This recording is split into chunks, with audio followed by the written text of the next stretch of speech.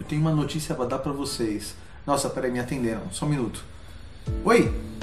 Sim? Sim, você pode me ajudar sim. Eu tô com um problema muito sério. A minha esposa tava testando um vibrador. Quando ela clicou, ela desapareceu na minha frente. Esse com certeza acho que é um dos piores problemas que pode ter um homem.